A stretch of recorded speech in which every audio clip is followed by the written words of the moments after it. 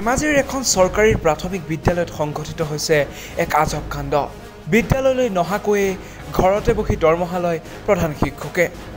ইয়াৰ সলনি বিদ্যালয়লৈ আহি পাঠদান কৰে প্ৰধান শিক্ষকৰ ভাতৃহে। আৰু এই ঘটনাটো সংঘটিত হৈছে ধেমাজি জিলাৰ বৰদলনি শিক্ষাখণ্ডৰ অধীনৰ মিলনপুৰ কলিতা গাঁও প্ৰাথমিক বিদ্যালয়ত।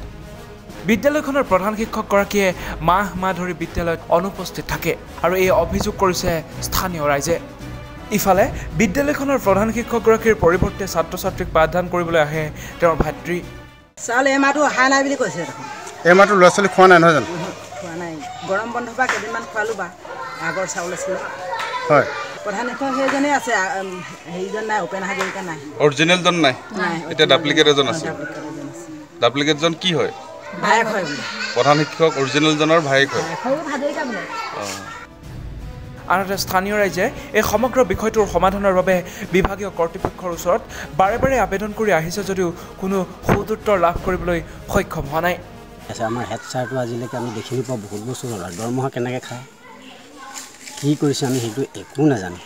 ওপৰত আমি অফিচতো বহুত আপত্তি কৰা হ'ল। ৰাইজে ৰাইজে কৰিছোঁ অকল মই কৰা নাই আমাৰ কমিটিয়ে কৰিছে আমাৰ গাঁও সভাই কৰিছে মহিলা মহিলাসকলো কৰিছে। কিন্তু আমি তেখেতক কোনোদিনাখনে ভাল পথলৈ আনিব নোৱাৰিলোঁ। ভূপেন হাজৰিকা। আৰু কোনোদিন তেখেতে মন নোখোৱাকৈ স্কুললৈ নোসোমায়। আৰু আমি বহুত বুজালোঁ ৰাইজে বুজালোঁ। আমি এছ এম চি হৈও বহুত তেখেতক বুজালোঁ যে আপোনালোকে আপুনি ল'ৰা ছোৱালীবোৰৰ মাথা নাখাব ভালকৈ পাঠদান দিয়ক। এইটো আপোনাক চৰকাৰে যেতিয়া দায়িত্ব দিছে। Bureau report time eight.